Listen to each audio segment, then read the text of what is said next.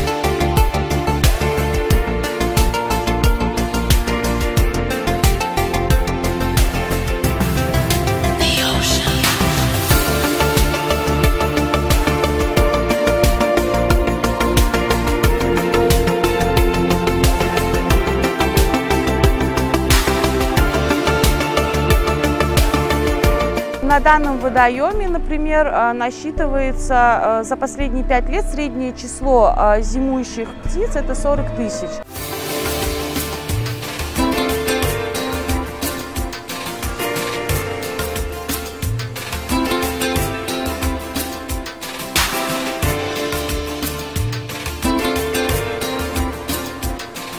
В Республике Узбекистан три рамсарских водоема.